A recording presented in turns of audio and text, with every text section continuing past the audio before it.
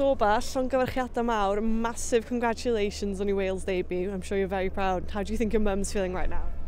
Well, I'm hoping she's as speechless as I am.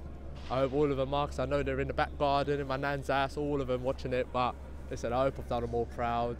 Um, I hope they enjoy this moment like I am, and hopefully many more to come. Your first Cymru call-up, you've made your debut, first game possible. Did you imagine that would happen to you coming into this camp?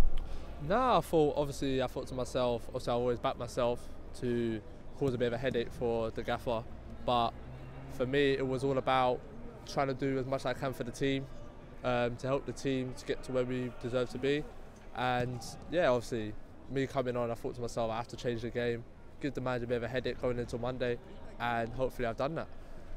You came on after um, 70 minutes and the at a crucial point in the game, 2-2. Did you feel any nerves? How was it playing in front of the red wall?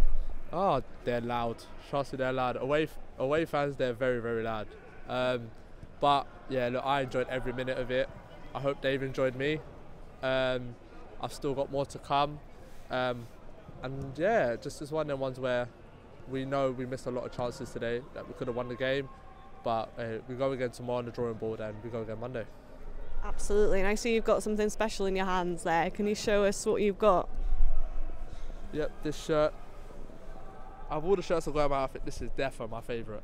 And it's definitely going to stay with me wherever I go for the rest of my life now.